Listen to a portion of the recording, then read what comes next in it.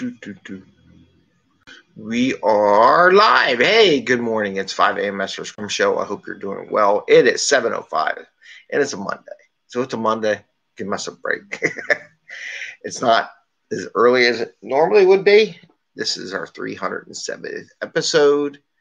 And I can hear the trash trucks actually finally make it through the neighborhood. Um, even though they're supposed to be here Friday and Saturday, I guess Sunday.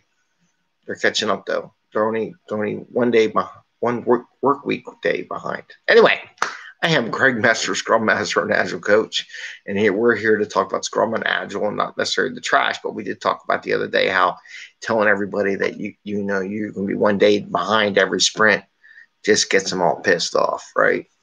Um, sooner or later, customers don't like it, so you should do it. You should tell them what the reality is and do it that way. Anyway, we're when we talk about Scrum and Agile, we do it in such uh, so that you can bring value to your customer, get home to your family or friends, work in reasonable hours, and have some fun along the way. And today I got a couple topics. Um, one, hey, it's you know I'm an engineer by trade. I got that engineer; it's not spelled right, you know, um, on my other T-shirt. But uh, there's a you know space race going on this week as i posted up earlier. I was like this month the end of july august everybody's going to be shooting rockets off to go to mars because it's the perfect time to do it. And um, there's a mars launch on i think nasa just put out for um, july 30th which is only a couple days only three days from now. And then the guys that are up at the space station are supposed to come back i think on the 3rd of august or the 5th of august like something like that. But but you can go on YouTube and you can find all this stuff out, and it's pretty cool. It's amazing to be living in this time. It's been a long time since we've had all this rocketry going up there into space, and it's been live and telegraphed. I think that's because the commercial industry is in there, and they're like, we're going to build some social media feed. I don't know about you, but I'll watch it all day long. So it's it's a now popular thing. Um, so my two topics today. So why daily scrum? Question I get asked all the time. Um, and it'd be interesting to talk about what answers people.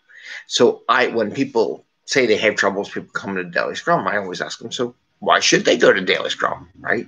That's what I ask my Scrum Masters. And it's a good coaching question, and it? Why should they come to Daily Scrum? And then I go through what they tell me, and I find it interesting the responses I get. And I get it from a lot of different people, the reasons why to go to Daily Scrum. We're going to talk about that a little bit. And then we're going to talk about a little um, networking exercise. I went to a event in Memphis online. I went to an event. I was online in Zoom, and we did this. It was actually it was a great little networking exercise. So I figured I'd share that with you. So we have our two topics for today. Um, so let's talk about Daily Scrum first, and then we'll do the the networking exercise at the end. So why daily scrum, right? So, so, so, so I get this answer from coaches, which always drive me crazy. Is like, really?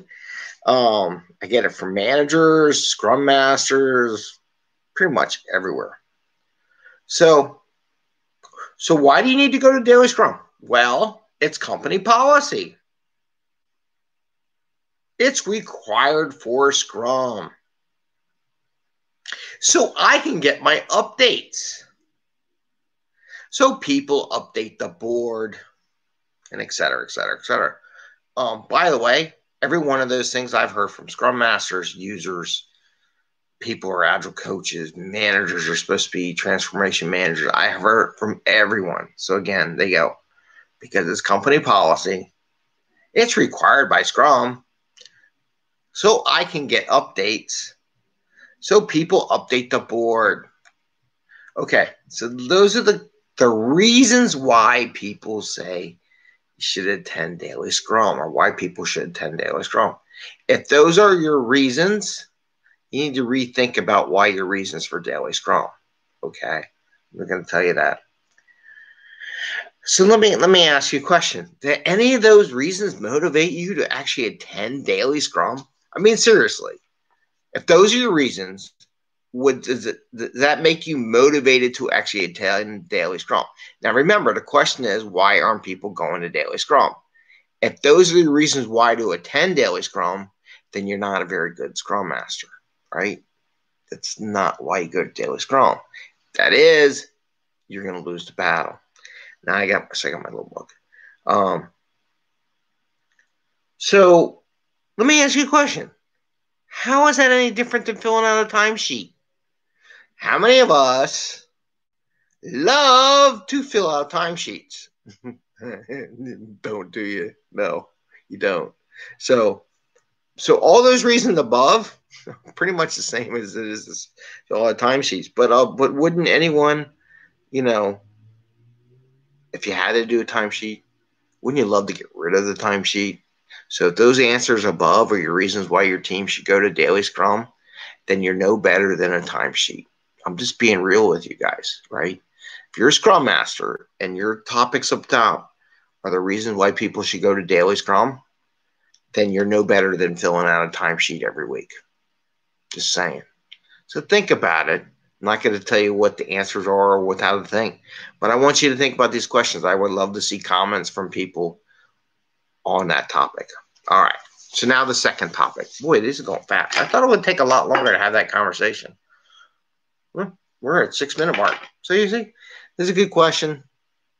What what is your answer? Is that one of those? Okay. So now we'll talk about the Zoom meeting. So finding new ways to organize and get things done. I thought this was a great icebreaker activity for a virtual meeting.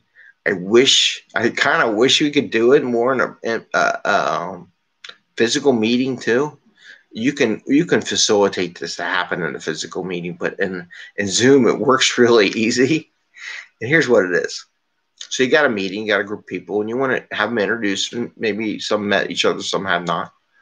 So you randomly you you pair up people in twos, and in Zoom you can pair up um, meeting rooms, and you can pair them up by twos. You can say two people per room, and it will randomly pick two people and put them in there. Hopefully, it won't do the same two people, but that's what it will do.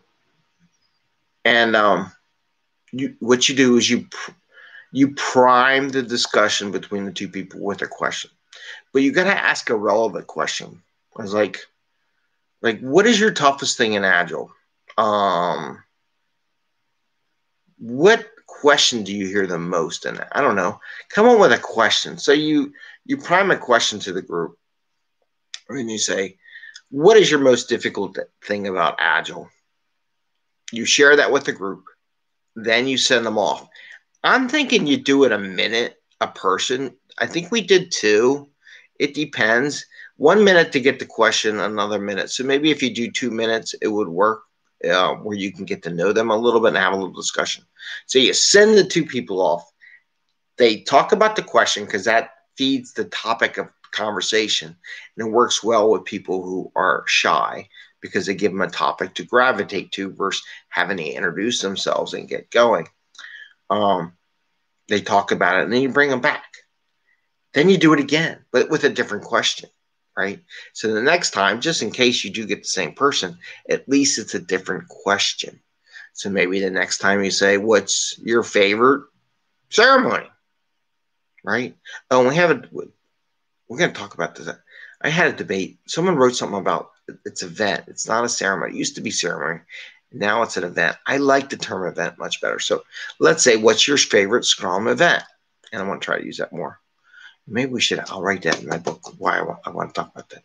Let's have an event. What's your favorite event?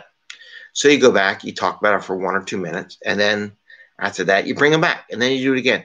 And you could do it between two and five times. I think five times is kind of maxing out how many times you go back and forth. Three is probably a good number. So that way you get to meet three people.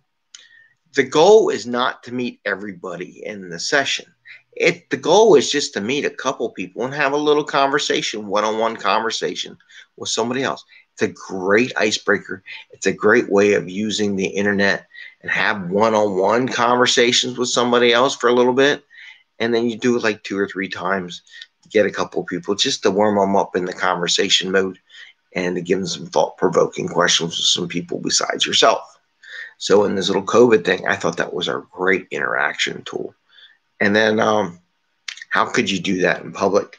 whenever we get to the point we're actually meeting in person, I don't know when in the States we're going to be doing that, but you could feed a question. Um, you know, you can find, um, you can give everybody maybe a number, like a one, two, three, four, five. And then you can say, okay, twos find a three. I don't know, and kind of force the the different people to talk to different people. But that would be an idea. So those are the two topics. So one is your daily scrum like filling out a time card? Because if it is, you need to change your daily scrum. And two, how to go meet some people during a Zoom conference or a um, social media gathering. And I like that idea of spending a minute or two with a Fed question so that they don't have to come up with it. It's an icebreaker question. I think the dynamics, it was a great little session we did with the Memphis meetup group, and it was fun. So, those are my two things for a Monday. Sorry we're a little later than normal cleaned up stuff, got some stuff done, did some stuff in the morning, took care of the kids, made some coffee. Wife's doing her thing. And um, but now we're off. It's a Monday. Have a great day. If you already had your Monday done, good for you. You survived. And I wish all you well and happy scrumming. With that, take care and we'll see you tomorrow. Bye. Don't forget to watch the Rockets.